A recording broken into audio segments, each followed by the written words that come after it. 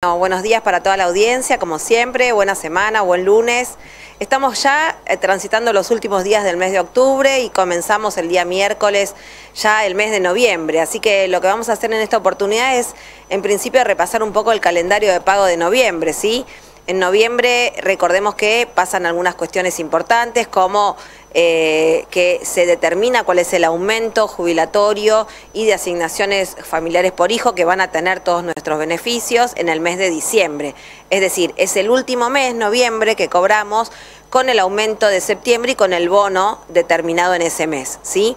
Bueno, ¿cómo va a ser un poquito el calendario de pago? Como decimos siempre, los primeros que van a cobrar a partir del día primero de noviembre son las pensiones no contributivas por discapacidad, ¿sí? Son siempre nuestros primeros beneficiarios.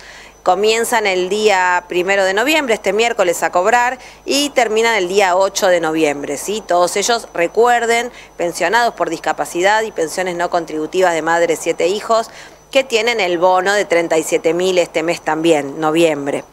Eh, luego ya comienza el calendario de la mayoría de nuestros beneficios o de los que son de más cantidad, primero y principal nuestros jubilados y pensionados eh, por viudez, que cobran a partir del día 9. 9 de noviembre es el primer día que cobran aquellos terminados en cero y así continúan hasta terminar con la terminación de documento número 9. Como decimos siempre, si tienen algún tipo de duda, acérquense a la oficina que nosotros enseguida podemos entregarle cuál es la fecha de cobro y cuánto es el monto que tienen que cobrar para saberlo de antemano y no encontrarse con ninguna sorpresa ni nada o, estar esperando un día cuando por ahí no es necesario que esperen tanto.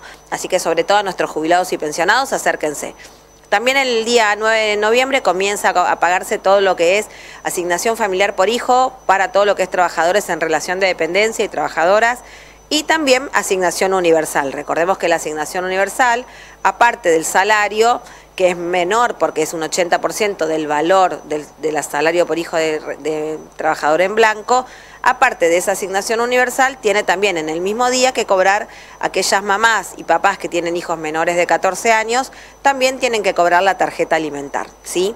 Bueno, eh, progresar, otra, otra beca muy importante que recordemos se paga durante los 12 meses del año. Todos aquellos chicos, más de mil chicos en nuestra ciudad que cobran la beca Progresar, lo van a poder cobrar a partir del día 11 de noviembre, ¿sí? Bueno, eh, eso es un poco lo que tenemos de adelanto del mes. Recordarles que ya a partir del 10 de noviembre, siempre es ese día que hay que esperar los días 10 que sale el índice del INDEC de cuál fue el incremento de salarios, y cuál fue eh, la, recaudación de ANSES, que son variables necesarias para poder calcular el aumento de nuestros jubilados.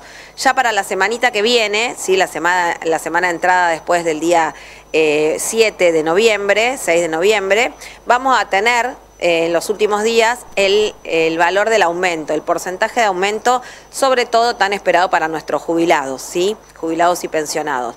Y bueno, y vamos a ver qué sucede con los bonos, si continúan, cuál es el valor de ese bono para el mes de diciembre mes de diciembre, un mes muy esperado. ¿Por qué? Porque también tienen el aguinaldo, ¿sí? Así que estemos atentos, va a ser un mes con muchas noticias, por eso nosotros vamos a estar acá como siempre todas las semanas.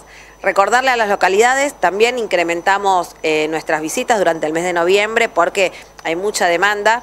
Eh, saben nuestros vecinos y vecinas de las localidades, Arroyo Dulce, Inés Indar, y también estamos yendo a GAM para poder eh, atender a todas las, las, respuestas, darle respuesta a todos nuestros vecinos y vecinas.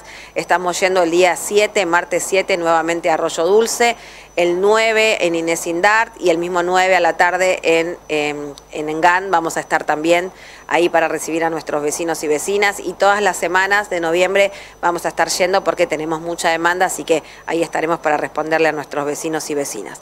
Así que bueno, seguimos la semana que viene con más noticias y como decimos siempre, acérquense a la oficina, estamos para, responder cualquier inquietud y acérquense a los centros de jubilados que estamos eh, en las localidades, tanto en Inés como en Arroyo Dulce y en la plaza, en la, en la plaza de, de GAN vamos a estar el día 9 también recibiendo a nuestros vecinos. Bueno, nos vemos la próxima. Que tengan buena semana.